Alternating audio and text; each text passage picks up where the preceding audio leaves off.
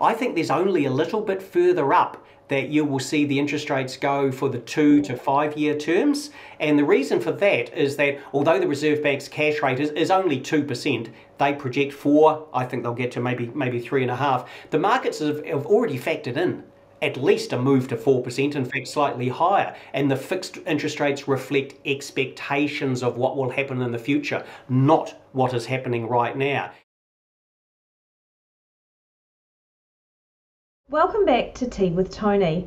Things are starting to bite and all at once. We've got rising interest rates, spiralling inflation, supply and labour shortages, house prices declining, consumer confidence tanking, and on the flip side, startlingly low rates of unemployment. Will this all add up to a recession? And positively, can we bounce through as quickly as we bounced in? Let's get Tony's take. Hey Tony, how are you? Good, thanks, Lenska. Good. And uh, yeah, that long list you've got there, I could add in brain drain as well. Young Kiwis going off to Australia. Obviously, Ukraine, soaring food and energy prices. Uh, China's, you know, supply chain problems, etc. I think you did reference uh, uh, uh that one to a certain extent. I've been explaining to people recently that central banks overstimulated their economies in 2021. Mm. Not so much 2020 when they were stopping a depression scenario, but they kept interest rates too low last year, too much money printed and sloshing around. Economies have basically now got overcooked. Uh, their unemployment rates are too low, pressure on resources is extreme, and just as luck would have it, when we're getting the inflationary pressures from overcooking the economies. We've got the extra pressure from the China supply chain interruptions, the food and energy prices soaring because of uh, Russia's invasion of Ukraine. And what that means now is that central banks are having to radically accelerate the uh, increases in interest rates and they're trying to slow their economies down as quickly as humanly possible. And so Perverse as this may sound, the worse the economic data get in the short term around the world, the better. It means the interest rates won't have to go so high, they won't have to stay up for so long. But we, we are in a bit of a maelstrom in this uh, approaching second half of uh, 2022 further increases in interest rates, but everything's been accelerated and condensed in time is essentially what's uh, what's going on now. And of course, it doesn't feel very nice, but we've been talking about this for months now that it was coming, and and it suddenly it's it's my question around that is this the perfect storm or more of a case of a short sharp tornado so you know give us give us some hope here tony yeah the main hope is that uh, i believe the crunch on consumer spending our Reserve Bank in particular wants by raising interest rates is actually happening. And that's something I've actually emphasized here and in all my different publications since about February when my first spending plans monthly survey for the year showed a big dropping away in the intentions which average Kiwis have about buying things. And then those intentions got worse in May and again in June. And then just last week we had one of the banks, their quarterly consumer confidence numbers uh, was at a record low. You know, consumers are being crunched at the moment, not just by falling house prices, rising interest rates, uh, but the cost of living increasing strongly. And a thing to keep in mind here is this. If we're talking about a normal monetary policy tightening cycle, interest rates rising, you're only affecting one third of households. Only one third of households actually have a mortgage. One, one third are renting, the other third have already paid off their mortgage. So when interest rates go up, only about one third of uh, Kiwis have been affected. But you boost our cost of living by 6.9%, we are all negatively affected. There's sort of a strong bang for your buck and depressing confidence and uh, and eventually spending out of that. So yeah, the main positive I'd make at the moment, you know, I, I could have said um, prices for our exports are very, very strong. Job security is also uh, uh, quite strong. The international tourists are coming back again. Next year we've got the um, uh, foreign students starting to come back. But from my point of view as an economist, the thing that gives me greatest hope for things are going to start to look better and within 12 months is the fact they're looking worse right at the moment. Right, so you're really talking about a shorter, shorter sharper tornado than a, you know, a, an obliteration or a, or a long-term sequence of hurricanes, which is quite nice to consider. Um, I think it's easy for us because we talk about this in depth every month to go, oh, yep, it's heading in the same direction that we said it would. To if you're someone, if you put it into real human terms of buying food at the supermarket, um, you know, driving your children to school.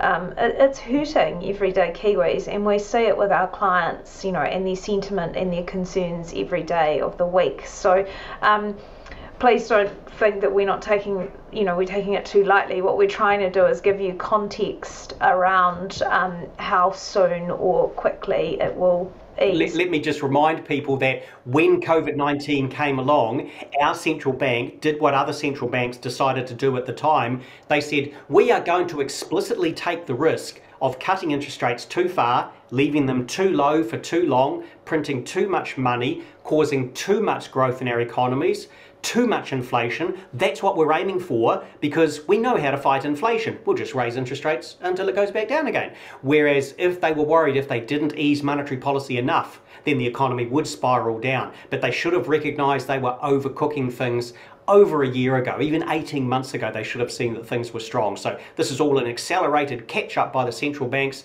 uh, trying to scare people out there. But I definitely, I can assure you, see light at the end of the tunnel. And there's a very good chance that the mortgage interest rates, in fact, will have peaked for maybe maybe all but the one year fixed rate by the end of this year, quite frankly. There's a lot to pick out of there. It's really good points, Tony. Uh, technical. I, am interested in, in a in a a technical explanation, well, a simple technical explanation of what a recession is and its impacts because we all get kind of scared of the headline, but what does it actually mean?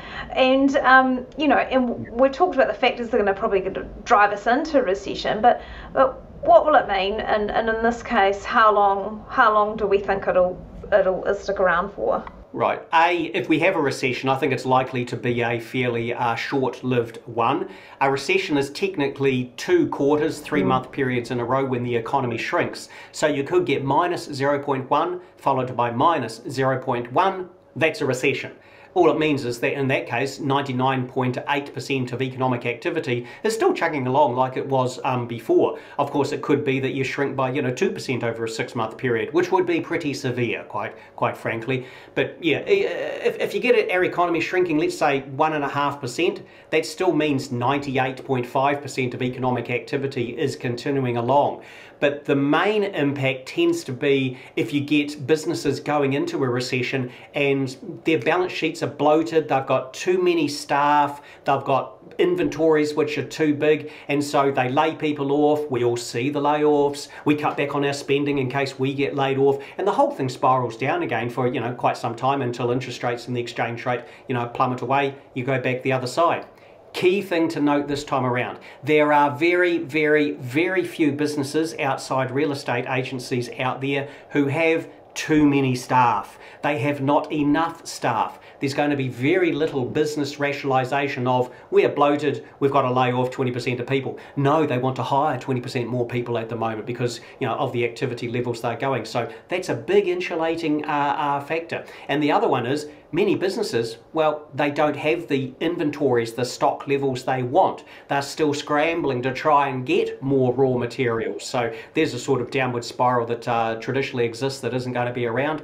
And as I noted earlier, New Zealand's export prices are exceptionally strong part of our economy benefits from the unfortunate circumstances in, in Europe. Food prices are high, and we see Fonterra recently projecting the highest ever payout um, to their suppliers, uh, uh, for instance. So there are some big insulating factors for our, our economy, and I think for a lot of businesses, um, they're still going to do fine, and if they see some layoffs down the road, they're going to be down there outside the gate trying to hire those, uh, those, those people you kind of alluded to this before, but I want to want to get more into kind of inflation, interest rates, monetary policy. But I've pulled a brilliant quote of yours from one of your updates. Um, excessive monetary policy easing turned housing into a pyramid scheme. I haven't seen it as well articulated. Um, you alluded to it before. Let's let's talk about that a little bit and and, and you know as a where we've landed as a result. No one likes to feel that they're missing out on something. If you've got two children and you give each of them an ice cream with uh, one scoop, happy children. But you give one of those children an ice cream with two scoops, at least one of those children is going to be very, very unhappy and they want two scoops. And so when we see house prices rising, we see average people or people we think are below average making easy money from some rubbishy investment property or section that they bought one or five years ago. We think to ourselves, well, I'm more intelligent than them. I think I can make money as well. I'm missing out on something. And so because of that, that missing out, the FOMO, fear of missing out, we all start piling in and buying property that previously we had no intention of buying an extra mm-hmm. property, uh, signing up for a new house or, you know, uh, investment property there or, or a section. And we just start piling in until something makes us go, oh, what was I thinking? Maybe it's interest rates going high and we can't afford it any longer, or I wonder if there's going to be an oversupply of new properties and so you start pulling back from the new builds, which is, is happening in spades uh, at the moment, or you go, seriously, how long can this continue? And so maybe you start to sell and then everyone else sees, oh, hang on, prices aren't rising any longer. I think I'd better sell that piece of rubbish I bought 18 months ago. And the whole thing goes down the other way. And that's what I try and capture with my FOMO and my FOOP readings. Fear of missing out, fear of overpaying. And in the frenzy, the proportion of real estate agents in my monthly survey saying they saw FOMO, it peaked at about 92% in very late 2020. That now sits at 3%. Right at the end of uh, June, my survey I've got underway at the moment, it's showing only 3% of agents think people have FOMO. FOOP Back in October, 19% of agents said people seem to be a bit worried that they'll buy and prices will fall. Now it's 77%. So it's those price expectations and price fears moving around that can really set a market up and down. And of course, cryptos, the big extreme of all of that, big extreme price movements. Bearing in mind what we were talking about before with it being a in relative terms, a short, sharp tornado as opposed to a you know a long-term issue, and we're just feeling the kind of brunt of it at the moment. Um, that flows really into monetary policy, inflation, and interest rates, doesn't it, Tony? In your predictions. So we talk about this every month, but where are you leaning now, a month further into the trajectory on monetary policy, kind of interest interest rates and inflation? Yeah, well, we've just seen a round of fixed interest rate increases from the uh, banks just being completed at the moment. It means for the uh, one to five year fixed mortgage rates, they're now between three and three and a half percent higher than they were at, at the low points, let's say the first half of 2021. I think there's only a little bit further up that you will see the interest rates go for the two to five year terms. And the reason for that is that although the Reserve Bank's cash rate is, is only 2%, they project four, I think they'll get to maybe maybe three and a half. The markets have, have already factored in at least a move to 4%, in fact slightly higher. And the fixed interest rates reflect expectations of what will happen in the future, not what is happening right now.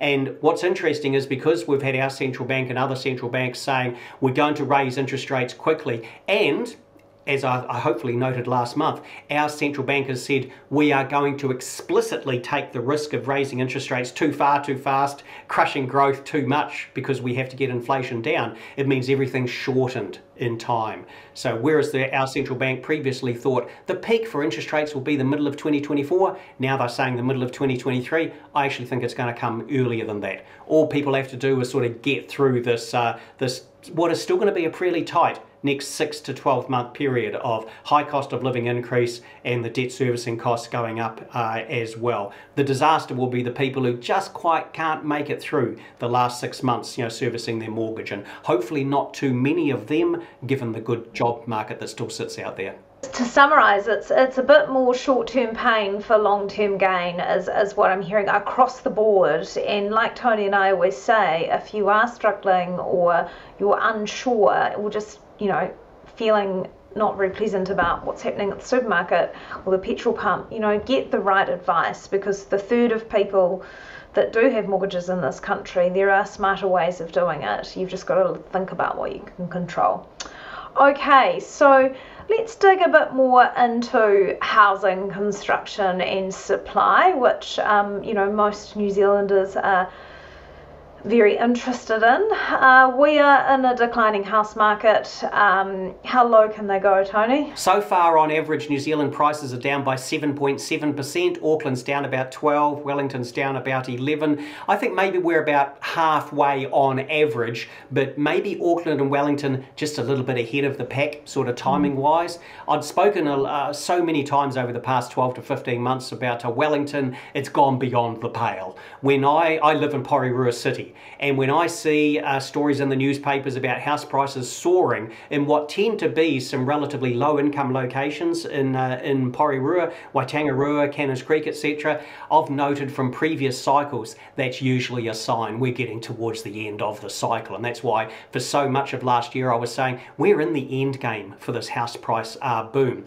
So prices are down. There's maybe, who knows, maybe another 7% or so to, to go there. The next big change, however, it's not actually prices, it's construction. The number of consents issued for new houses to be built, it peaked out at about 51,000. We're almost sort of there at the moment.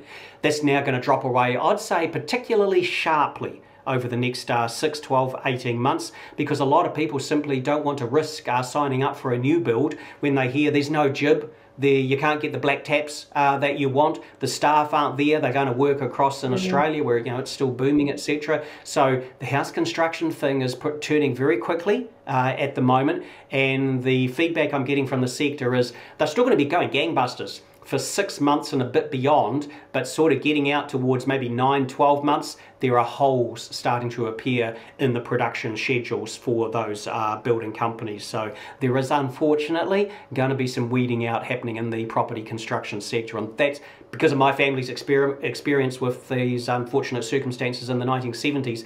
That's why I've jumped up and down so strongly warning about uh, 17, 16 months ago about what was about to come along for house construction. Went up too far, it's now got quite a correction coming along. You've been pointing out in some of your updates that there's a uh, an interesting um, insight with investors. Do you want to share that with, with everybody? Yes, one of the things I've noted is that when March 23 last year came along, the finance minister announced uh, tax regime changes for the investors. Everybody spat the dummies, said they're going to put their rents through the roof, they were going to sell off their properties. Uh, I had three and a half thousand people reply to a special survey saying exactly that that? And I said, yeah, no, I don't think so, given the low level of interest rates you'd get on a bank deposit, etc. And ever since then, what I've said repeatedly is there is no evidence. There is exactly zero evidence of a wave of investor selling. And in fact, what I can see from especially my monthly uh, survey of real estate agents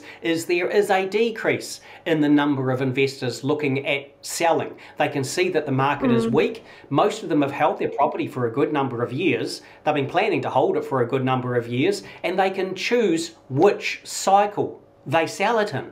Most of them do, simply do not have to sell. So um, th there is no wave of investors uh, uh, placing uh, properties on the market because they are distressed sellers. As equally, there won't be all that many mortgagee sales for somebody who's bought a place you know, last year or the year before because the job security is relatively good. The biggest woe in the market is more going to be in the new build space. Too many property developers, uh, too leveraged and inexperienced and over optimistic. That is where if you're looking for a bargain, if you're an investor looking at this and you're thinking, where the bargains going to appear? It's not going to be in the existing properties, it's going to be in the partially completed new development area. Um, good luck, you need a bit uh, bigger than average amount of capital in order to get involved there. Now, I want to talk briefly about the Triple CFA, and it, was such a factor for businesses like ours and clients. Um, and it seems, given these other headlining issues, it, it, does seem to have kind of fallen by the wayside a little bit. But you know, lending and credit conditions are contracting. Um, will the upcoming triple CFA changes, so that's the, the Consumer Credits Contracts and Finance Act, uh, um, the changes that were made that put us into basically a credit crunch, Tony, in your terms. Um, do you think that's going to have any impact, the changes they're making? They seem to be quite um, minimal at this stage, but like lessening and making it a little bit more practical, let's put it that way, for people to access money and for the banks and advisors like us to do our job properly. So, um, what's your take? Yeah, things, even after the tweaks which have been announced and become effective from July 7, we're not going back to the environment as it was before December 1 last year when the uh, triple CFA changes you know, came into effect. The banks are still uncertain about exactly what irresponsible consumer lending is. It's not specifically defined in the legislation there, so you know that uncertainty remains. There is going to be a slight improvement because it's now made explicitly clear that they shouldn't count regular savings as an expense. Um, it's got some, you know, some some allowance made now for if you've got a mortgage, you're not going to keep flipping over to Fiji once every six weeks as you were doing previously. So they can sort of make that assumption of a change in spending habits change. going forward. Yeah. So there's some that your behaviour yeah. will change. Yeah. Yep, yep. So it's a slight improvement, but it's not back to where it was before. And as we've just seen um, recently with one bank saying they are now no longer doing any new approvals for a while for uh, loans where there's less than a 20% deposit, they are worried about breaking that uh, November 1 uh, uh change for the loan to value ratios. From November 1 last year, banks could only have 10% maximum of new lending involved low deposits. Um, before that, it was 20%. And clearly, that is still an issue for some lenders out there. So we're not in the depths of the credit crunch, which was sort of October, November, December, January, maybe into February. That was the worst of it. Things have got easy, but we're nowhere near where we were previously. Credit is still hard to get. And so, for a lot of buyers out there, they're going to find they still can't get a mortgage for some time. What I'm picking is there's a chance Let's give it a 40% probability. Before the end of the year, the Reserve Bank will tweak the LVRs, ease up a bit there. Um, it's not a high probability, but I think they'll be looking at the speed with which house prices are going down, the weakness in consumer spending, and I can't help but think they'll just look to tweak that a little bit uh, down the track. I, I agree. I think so too, but you know, what do I know? Um, look, Tony, is there anything else you'd like to add? Because it does like i said at the beginning it does feel i use the word heavy. It's a little bit heavy for people that um, at the moment and for kiwis. Um, everyone's talking about it you know whether it's i can't get staff um, you know my lettuce was six dollars my favorite um, you know oh my god i can't believe how much i just paid to put petrol in my car um, you know Uh, what's your you do always give us a nice kind of measured kind of take. What's your outtake for people to kind of go away with we're all being affected by things we can't change mm. at the moment. None of us can change the 6.9% inflation rate, the interest rates, what's happening in Europe, what's happening in China, etc. And when there's a lot of stuff around you that you can't change, you start to feel a bit helpless and, and you're naturally worried. But you, you sort of subconsciously, never consciously, but subconsciously, you realize there is actually something I can control, and that is my fear. I'm going to have a high degree of fear and I'm going to run around a bit like a headless chook, but at least you feel like you're doing something and you're spreading woe to other people. You say, oh mate, I'll tell you, this is really going bad out there it feels quite powerful to say that to your to your friends, your family, the blokes down at the pub, etc. So psychologically, what we tend to embrace in these trying times is negative thought because we can inject some power and some feeling of control to that negative thought when otherwise so much is is not controllable. What I invite people to do is realize that there is power in talking negatively to other people. Try and step back from it and just remember, see, that this is the bread and butter for us economists. Things move in cycles. When times are booming, people think it won't end, they buy too much, they borrow too much. They hate the bankers because the bankers have seen this and don't lend them all that they want to borrow. But then things go easy on the other side and people get too worried. They sell too much, uh, they put off life plans too, too, too long. They say the banks lent me too much, even though I wanted a million more, they still lent me too much. We look to blame somebody outside. So just remember, things move in cycles, and this cycle might, might have looked like, let's say, mm, like that. This one's going! And it's going to be a quick falling off and then a bit of a plateau I'd suggest from the middle of 2023.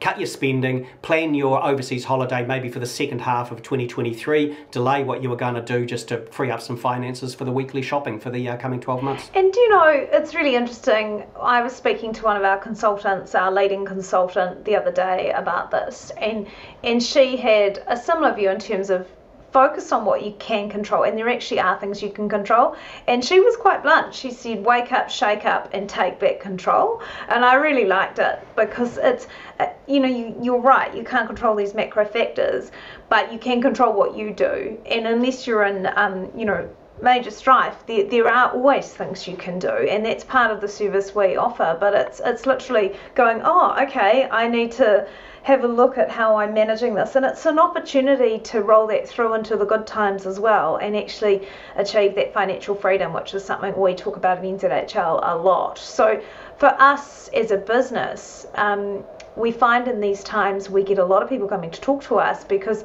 it's and it's an opportunity to roll that through into the good times and change their habits and behaviours. So I will leave it on that note. And just to close out, as we say every month, um, Tony is an independent economist. We like it that way. His views are his own and not necessarily those of NZHL and vice versa. Thanks a lot, everyone. Uh, please feel free to. Uh, pop some questions underneath and um, I can ask Tony that next month round. Thanks a lot.